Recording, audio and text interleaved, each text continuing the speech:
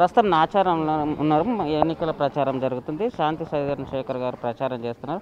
Madam అడిగి మరిన్ని విషయాలు తెలుసుకున్నాం మేడం ఎట్లా ఉంది? ప్రచారం ఎట్లా జరుగుతుంది? ప్రజల నుంచి మద్దతు ఏ విధంగా ఉంది? నమస్కారం. నాచారం టీఆర్ఎస్ పార్టీ అభ్యర్థిగా శాంతి సాజన్ శేఖర్ గారు. రెండోసారి నేను పోటీ చేస్తున్నాను. మేము ఇక్కడ ఈరోజు గడప గడప పాదయాత్రలో భాగంగా భవానీ నగర్ శ్రీరామ్ నగర్ తిరుగుతూ ఉన్నాము. విఎస్టీ కూడా. చాలా మంచి స్పందన ఉంది ప్రజలలో.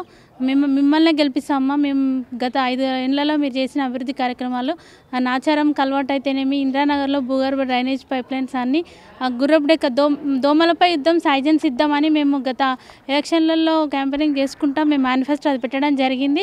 మేము దోమలపై యుద్ధం సాయిజన్ సిద్ధంలో దోమలపై యుద్ధం మేము గెలిచినామని చెప్పుకుంటున్నాం. ఎందుకంటే హెచ్ఎంటీ చెరువు పట్టెలకుంట చెరువులో పూర్తిగా గుర్రపు డెక్క రెండు సార్లు మేము తీయించడం జరిగింది. దోమలు చాలా తక్కువ ఉన్నాయి. గతంలో దోమలు సిక్స్ ఓ క్లాక్ అయిందంటే అసలు మనుషులు బయటికి రాకపోయేది. ఇప్పుడు మంచిగా ఉన్నారు.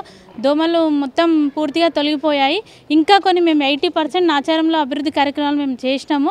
ఇంకా ట్వంటీ పర్సెంట్ ఉంది. రెండోసారి మాకు అవకాశం ఇస్తే మేము తప్పకుండా అవన్నీ నాచారం మొత్తం పూర్తిగా అభివృద్ధి చేసి చూపిస్తాము. ప్రజలు కూడా మా మీద పూర్తి నమ్మకం ఉన్నారు. మేము మమ్మల్ని మేము చేస్తాము అని భారీ మెజారిటీతో మేము గెలుస్తామని మాకు పూర్తి నమ్మకం ఉన్నది.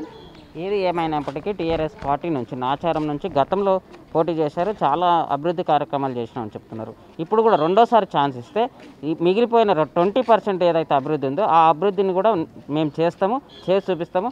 మళ్ళీ పదేళ్ళ తర్వాత కూడా మళ్ళీ గెలిచే అవకాశం కూడా మాకే వస్తుందని నాచారం అభ్యర్థి చెప్తున్నాడు. కెమెరామ్యాన్ శ్రీను రాము నాచారం